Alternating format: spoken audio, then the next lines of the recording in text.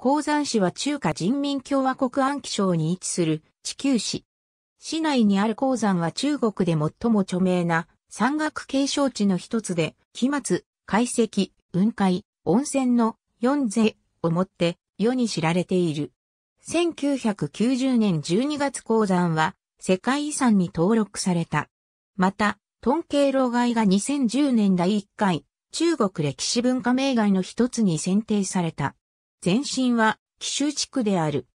紀州は旧県を中心に安徽省南部から厚生省北部にまたがる地方であり貧しい山間部であったが、その住民は逆境から立ち上がり行商人として身を起こし、新安商人として中国各地で活躍した。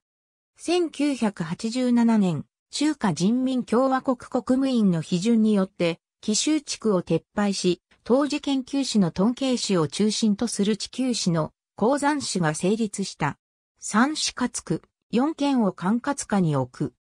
神奈業職紀州選区安徽省紀州選区安徽省、紀州地区鉱山市2006年4月、市民投票で選ばれた候補を専門家が審議し、政府の検討によって決定するという過程を経て、最後に、鉱山松、鉱山都県、紅橋総市長がそれぞれ、一木、重、市長となった。幸福旅客専用船、区域旅客専用船が乗り入れる鉱山機待機。ありがとうございます。